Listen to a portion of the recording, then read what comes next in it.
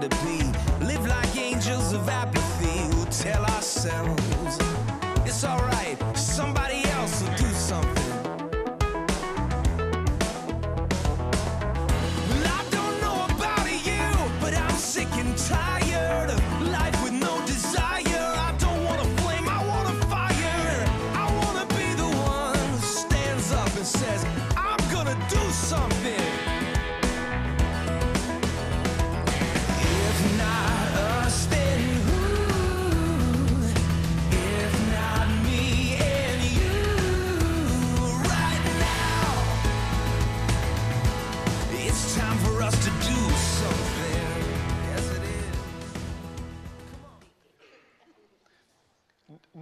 Underestimate the power of a friendship.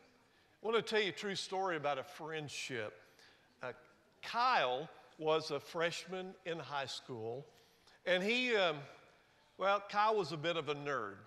Everybody kind of picked on him and made fun of him. One Friday, Kyle was walking home from school carrying what appears to be every book that he used at school. I mean, he had a big stack of books, carrying them down the sidewalk.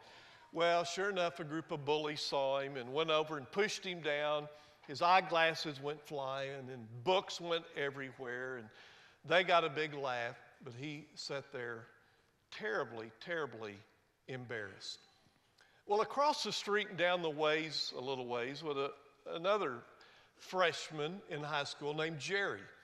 And Jerry witnessed the whole thing and just felt sorry for the guy. And so he crossed the street and went up to, to Kyle and said, Hey, don't worry, I'll, I'll help you here. So Jerry went and found his eyeglasses and gave him his glasses and helped him gather up the books. And, and they just began to talk a little bit. They discovered they lived real close to each other. So Jerry said, Listen, Kyle, give, give me half your books. We're going the same way. I'll help you carry them. And so they walked down the sidewalk together. And as they walked, they talked. And the more they talked, they kind of hit it off. So Jerry said, Hey, listen, Kyle, why don't you hang out with me and my friends this weekend? We're going to hang out, we're going to play a little football. And Kyle said, Thanks, that'd be great. Well, Kyle hung out with Jerry that weekend. Long story short, they became best friends. In fact, for four years of high school, they were inseparable friends. Now, Kyle, remember the nerd, was also smart. In fact, he was valedictorian of the senior class that year, which meant that Kyle got to give the speech at graduation, the valedictorian speech. So he, he gets up to make his speech, and Kyle says this Graduation is a time to thank those who have helped you make it through the tough years your parents, teachers, siblings, maybe even a coach, but most of all, your friends. I'm here to tell you that being a friend to someone is the best gift you can give to them. I'm going to tell you a story about such a friend. And at this point in his speech, Kyle told the story of what Jerry had done for him four years earlier in being a real friend. However, in the speech, Kyle told a part of the story that Jerry and no one else had ever heard. Kyle said, The reason I was carrying all my books home was because I had planned to kill myself that weekend. You see, I didn't want my mother to have to go to school the next week and clean out my locker. I was taking all my books home to be nice to my mom. You see, that day, my friend Jerry literally saved my life. Never underestimate the power of friendship. Being a friend can literally save a person's life, it can be a life or death issue. And today we're going to learn that when it comes to reaching people who don't know Christ, it can be an issue of eternal life or eternal death. Welcome back to Contagious Grace.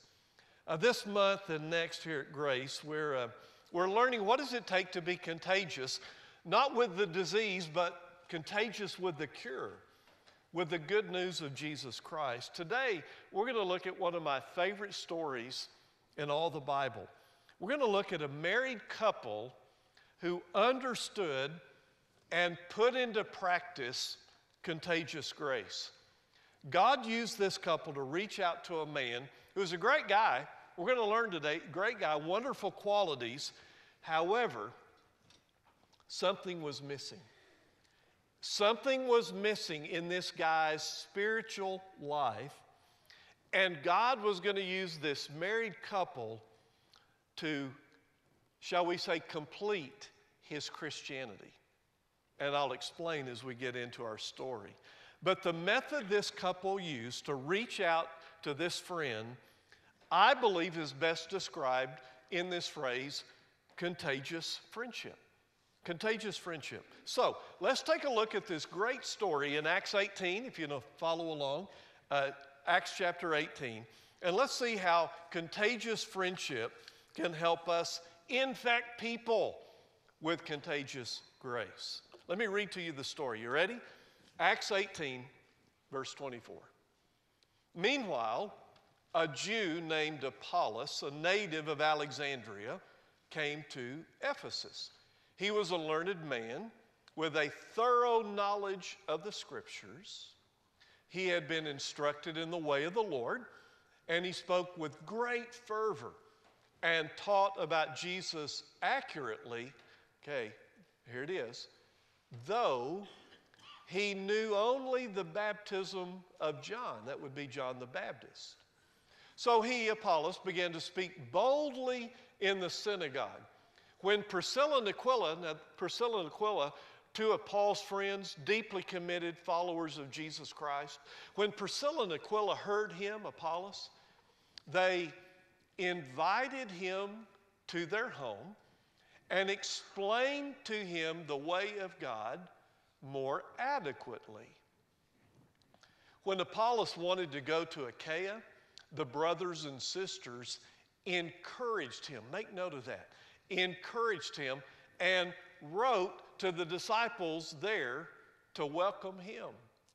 When he arrived, he was a great help to those who by grace had believed. For he vigorously refuted his Jewish opponents in public debate, proving from the scriptures that Jesus was the Messiah. Apollos. What do we need to learn about Apollos? Well, uh, several things he had going for him. Number one, he was a Jew with a thorough knowledge of the scripture. Second, he was a native of Alexandria. Don't miss that point. You see, Alexandria in that day and time was one of the great cultural and learning centers of the entire Roman world. Well, that's where Apollos grew up. That's where he was from. So imagine, he is just surrounded by this academic uh, learning environment. What else do we know about him? Well, he's a gifted communicator, a great enthusiasm, some tr- translations use the word fervor. And notice also he taught about Jesus how? Get the word? Accurately. Man, he knew Matthew, Mark, Luke, and John. I mean, he knew the story of Jesus. However, did you pick up what was missing? There was something missing. There was something incomplete about his spiritual life. And here's what it was he only knew about the baptism of John the Baptist. Remember back in the story early in the gospel records of John the Baptist? What was the ministry of John the Baptist? It was a message of repentance and preparation. John would say, Listen, you need to repent. Okay, you need to repent. You need to get ready for Jesus. He's coming. You need to be prepared. And John's baptism was only a baptism of repentance. It was to kind of clean them up and get them ready for Jesus. But Christian baptism, that's a totally different thing. That all happened beginning on the day of Pentecost when Peter preached the first sermon. And remember what he said in Acts 2:38? Repent and be baptized, every one of you, in the name of the Father, Son, and the Holy Spirit, and you will receive what? The forgiveness of your sin and the gift of the Holy Spirit. The forgiveness of your sin, and the Holy Spirit will come to live and dwell inside of you. John's baptism did not promise that. It was a baptism of preparation. Christian baptism is a baptism of completion. That, man, things are coming together and your sins are forgiven and you're now empowered by the Holy Spirit. Guess what Apollos didn't have? Christian baptism and the benefits, the blessings that come with that. Primarily the empowering of the Holy Spirit. All right, so there is Apollos. You, you know who Apollos reminds me of? Now, I want you to think. Apollos reminds me of some people I know who they go to church off and on. Maybe they even serve in the church in some way, maybe serve on a committee. They support the church, but there is, there's something missing in their lives. There's something missing.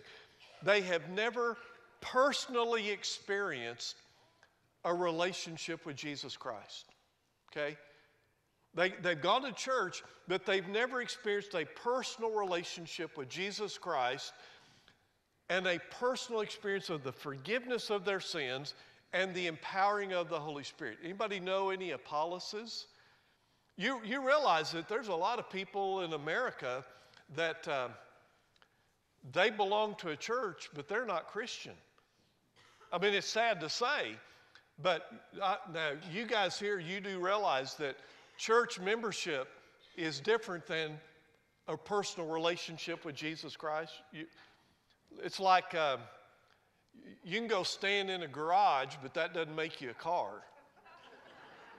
Any more than coming to church makes you a Christian.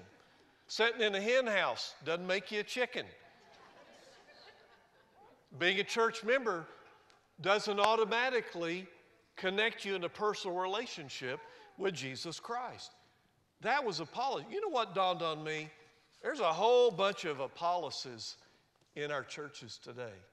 I don't, maybe you're an Apollos. Maybe you like you come to church, you think, well, that's it. You just kind of like come to church, join a church. But maybe you've never understood that it's all about a relationship, not religion. It's a relationship with Jesus Christ. How about you? Do you know any Apolloses in your life? All right, here's the question we want to explore. How can we here at Grace, how can we be contagious? How can we reach out to people like Apollos and give them, shall we say, the rest of the good news? Maybe they've got like part one, but they need part two. They really need to understand about salvation and a relationship with Christ. How can we help them discover what is missing in their relationship with God? All right, here's what we're going to do we're going to watch how our married couple, Aquila and Priscilla, gave Apollos what was missing in his Christian experience. We're going to watch them give him what is going to complete his walk with God, okay? And it's a fascinating picture, I believe, if we will listen and learn from our friends Aquila and Priscilla.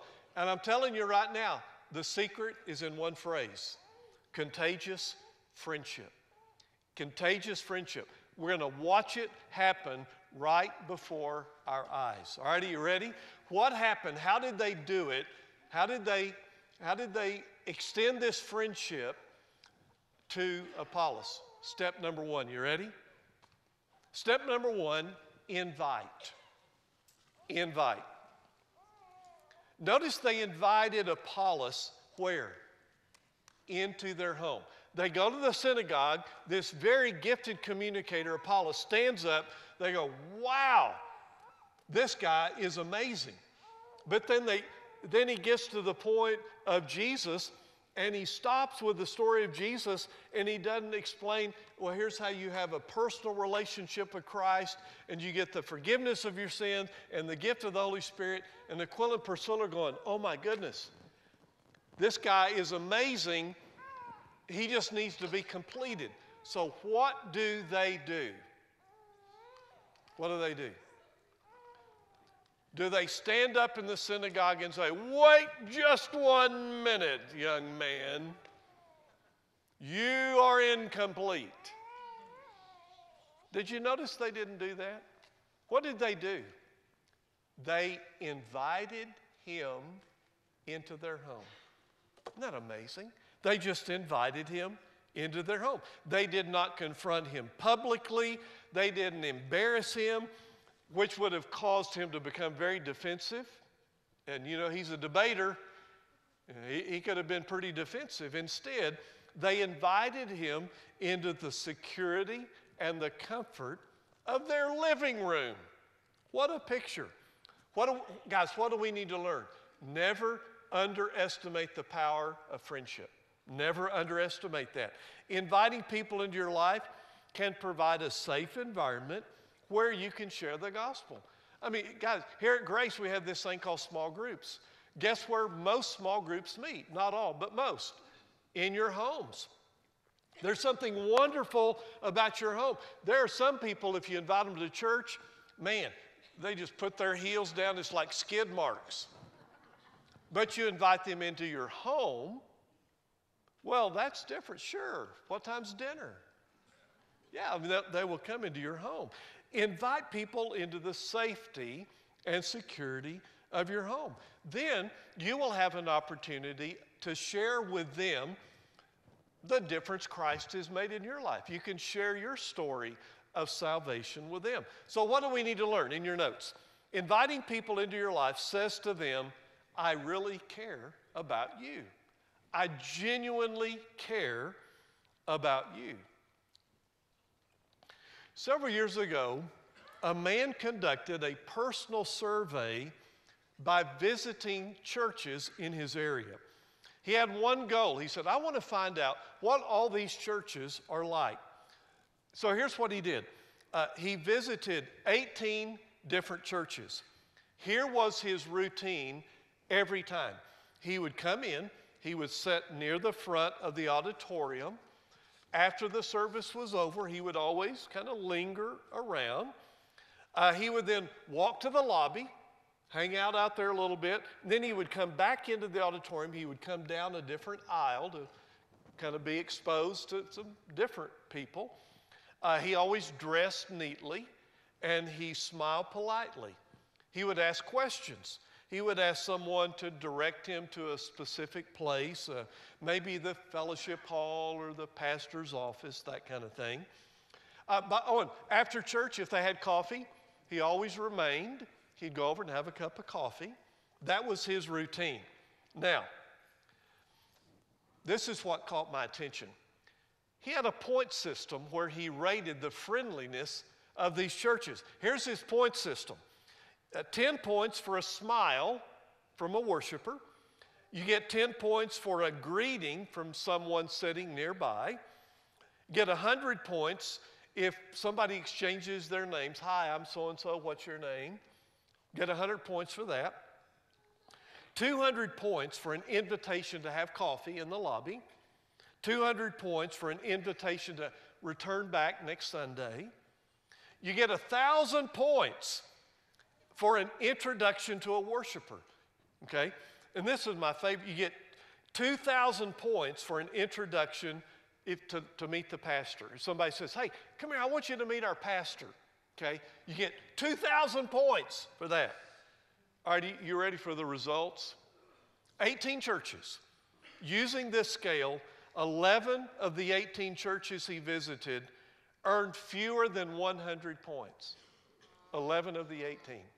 Fewer, fewer than 100 points. You want more bad news? Five actually received less than 20 points. Tw- less than 20 points. Guys, you get 10 points for smiling. Look here 10, 20. They didn't even get there. Now, here's the sad thing I've been at that church. How about you? I've visited that church. I never wanted to go back. Guys, we can never let Grace Community be that kind of church. If you're a, if you're a first time guest today, right now you ought to be at 2,000, 3,000 points easy. All right? 2,000. I'm going to give you 2010. All right. There? Whoa, there's 10 more. See how easy that is? Guys, what are we learning? Never underestimate the power of a friendship. Just being friendly, being friendly with people. You know, one of the guiding principles of Grace Community Church, we started it 20 years ago, and you guys want to be nice to people and do it a long time. That's it. You want to grow a church in Roswell, you be nice to people and you do it a long time. We've been doing it 20 years. Let's keep doing it. Okay? So what do we do? We invite people into our lives. Just invite people. That's what Aquila and Priscilla did. Very non threatening. Invite people into your life, maybe even your home. Step two, explain. Step two is explain. They invited him into their home, and then they explained to them what they saw was missing. They didn't condemn him or judge him. They didn't come on like spiritual snobs and spiritual know it alls. That would have driven him away, caused him to be defensive. Oh, and you know, by the way, the other thing that kind of caught my attention here I mean, think about Apollos. I just described who he was. This guy is sharp, he is gifted. Would anybody be intimidated to invite a guy like that into your home to explain to him what's missing? That could be a little intimidating. Like, whoa, we, he knows more than we do. And yet they did not let that fear of intimidation hold them back. You know what they did? They simply and humbly explained the good news of Jesus Christ. And they did it obviously in a courteous and respectful manner, not a self righteous manner. They just said, Hey, wouldn't you have loved to have been in that living room? That would have been incredible to watch them say, Listen, we heard you in the synagogue. Wow. Man, when you were talking about Jesus, you were spot on. Can we share with you what happened on the day of Pentecost? You, you haven't heard the rest of the story. Let, let us tell you the rest of the story and the difference the Holy Spirit living in you can make in your life. Wouldn't you have loved to hear them just explain it and wouldn't you have loved to seen Apollos, the light bulb turn on above his head, going, Wow, I did not know about the indwelling power of the Holy Spirit. What do we need to learn here? Our goal is not to win the argument. What good is it to win the argument if you drive the person further away from God? Now, here's what we need to remember in your notes all people, not some, all people are created in the image of God and are for that reason alone worthy of our respect, worthy of our respect and courtesy. I just love the way Aquila and Priscilla treated Apollos with such respect and courtesy, inviting him in and just explain the way, explain the way more perfectly. Never underestimate, guys, the power of a friendship. You invite and then you explain but whatever we do, we can't miss the third step. This was beautiful. Step number three encourage. Encourage. So, sometime later, Apollos decides God is leading him to go to Achaia. He's going to leave Ephesus and go to Achaia. What did Aquila and Priscilla and the rest of the church in uh, Ephesus do? They encouraged him and they supported his outreach ministry. The whole community kind of got behind him and said, You bet, man, we're behind you. We're going to support you. We're going to encourage you. Aquila and Priscilla knew that simply, simply inviting somebody into their home and explaining the way more perfectly and kind of getting the guy complete, that was not enough. They needed to follow up and help disciple this guy. I, you know, uh, if you've been coming to grace very often, you, you may have heard this every Sunday morning. Last week we had Discovery Class 101, Discovering Membership. In two weeks, we're going to be having uh, class 201, Discovering Maturity. You can register for that on your connection card. How many of you have ever heard that announcement? Like every Sunday. Like if you've been here a long time, that's where you doze off. Because you go, I've, heard this. Every week they say last week was 201, next week is 301. Oh, they had 301. I bet, I bet the guy's going to say 401 in two weeks. What do you think, honey? And sure enough, he does. Why do we go to the trouble of having these things called discovery classes? It's because we have a lot of Apollos who come to grace. They come to grace, and maybe, maybe for years and years they've gone to church off and on, but they really don't have a relationship with Christ. So they come here and they learn oh, I need to put my faith in Christ. I need to experience Christian baptism. Guess what? When, when somebody comes out of uh, the waters of baptism, we don't pat them on the head and say, God bless you, you're on your own, see you at the second coming. We don't do that to people. We say, listen, you need to go to class 101 and you'll learn how to get connected to Jesus and the other members of his family in a deeper way. And, and then, hey, listen, you haven't been to class 201?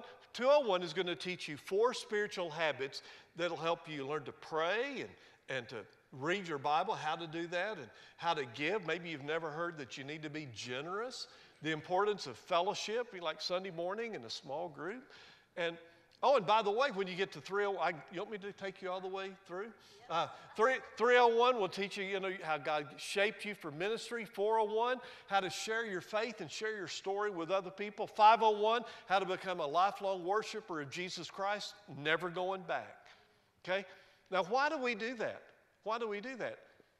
We want to be Aquila and Priscilla to all the Apollos who come to grace. Why do we have this thing called life changer classes? Man, life changer classes are going on in this church all the time. You know how you know? Try to reserve a room in this church. Some of you are nodding. Try to reserve a room. True story. About a month ago, I had a Saturday morning funeral in this room. The family wanted to have a family room to meet before the service. I couldn't find a room available. This whole side over here, there were life changer classes going on. Er, over here, I finally found one room to put that family in. Now that's typical, that was Saturday morning. You ought to see Tuesday night. It's amazing, amazing. Why do we, why do, we do that? Because we want to be Aquila and Priscilla to all the Apollos to help them grow. We want to encourage and support them in their growth process. So, in your notes, we want to provide two things encouragement and support. That's what people need encouragement and support to continue to grow and mature in their faith. Step three is encourage. When you go to class 401 Discovering Missions, we have a section in there called How to Build a Bridge of Friendship. I love this section and, and here's just the summary of it for your notes. But you want to build a bridge of friendship. Number one, become aware. Become aware of the people who don't know Christ in your neighborhood, at work, in school, wherever you are. Become aware. Become aware of their needs, where they come from. Just become aware. And then, number two, commit to prayer. You, you make a prayer list, you write their name down, and you pray for them regularly. Pray that they will come to Christ. Pray that God will open their heart. Number three, you show you care. Show that you care. Uh, you invite them to a life changer class with you. Go, you invite them to, to, to go through divorce care or Financial Peace University, or you pick a class. You just look for ways you can serve, genuinely serve. And then number four, be ready to share. Look for opportunities where you can share your story of what Christ has done in your life. So I want you to think do you have any Apolloses in your life? The answer is yes. You just haven't found them. They're there. They're, don't tell anybody, but they're here every Sunday. And we love Apolloses, and we want to welcome them. They believe in God may or may not go to church. good people, good qualities, but something is missing. Something is incomplete in their life, and that something is a personal relationship with Jesus Christ. So, this week, how can you be contagious? How about this? Invite, just invite them into your life, explain what is missing by telling your story, and then encourage them along the way by offering support and love. Support and love. My prayer for Grace Community is very simple. May we never, ever underestimate the power of a friend. Let's pray. Well, Lord, thank you. Thank you for your amazing love and grace that you have extended to us. Thank you for the awesome privilege that you give us every day to share our story with the Apollos in our community. And Father, I pray that this week, make us sensitive to those people. May we invite them into our life and look for opportunities to explain to them the difference Christ can make in their life and encourage them along the way. Lord, uh, thank you for being a friend to us. May we be a friend to others. This is our prayer through Christ. Amen.